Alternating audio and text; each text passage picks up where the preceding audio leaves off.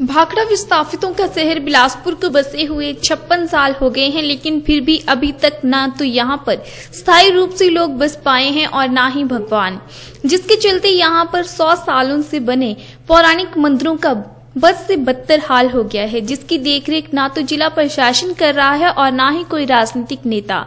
दशकों से गोविंद सागर झील में, जल में स्थापित पुराने मंदिर। रंगनाथ खन मुखेश्वर ठाकुर द्वारा मुरली मनोहर, राजा दीप चंद द्वारा बनाए गए गोपाल मंदिर और हनुमान मंदिर इत्यादि अपने अस्तित्व की जंग लड़ रहे हैं। हालाँकि भाखड़ा बाँध के अस्तित्व में आने के बाद राज्य में कई सरकारें आई और कई चली भी गई, लेकिन हर बार बिलासपुर के लोगों की आस्था के प्रतीक इन पौराणिक मंदिरों को लेकर सियासत ही हुई है और ये मंदिर राजनीति का शिकार होकर रह गए हैं। जब इस झील का जल स्तर नीचे उतरता है तो गल रहे इन मंदिरों की दुर्दशा देखी जा सकती है। बहरहाल अब एएसआई टीम के आने का इंतज़ार है। टीम की सर्वे के बाद ही तय हो पाएगा कि कब तक मंदिरों को सुरक्षित जगह पर स्थानांतरित किया जाएगा। बाँध बना नहीं। बिलासपुर जो उजड़ चुका है, मंदिरों की देख रेख नहीं हो रही, इनकी देख रेख हो। जाए भाखड़ा विस्थापित से बिलासपुर के उजड़े हो गए, पचास से छप्पन साल बस हो चुके हैं। और जो पुरातन समय से भाखड़ा डैम में, हमारे प्राचीन समय से जो मंदिर स्थापित थे, उनको पुनर्जीवित करने के लिए भारतीय जनता पार्टी प्रदेश में सरकार बन चुकी है।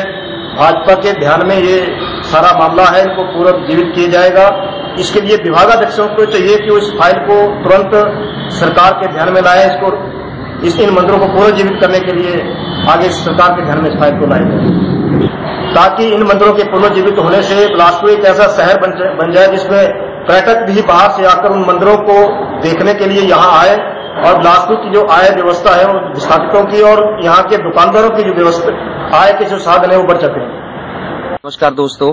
आज हमारे सामने एक बहुत ही गंभीर विषय है। हमारे यहाँ पे जब से भाखड़ा बाँध हमारे यहाँ बना है, कम से कम कोई सत्तावन से साठ साल पहले, उसके बाद यहाँ पे जो भी भाखड़ा विस्थापित लोग थे, उनको, उनके साथ तो अन्याय हुआ ही है।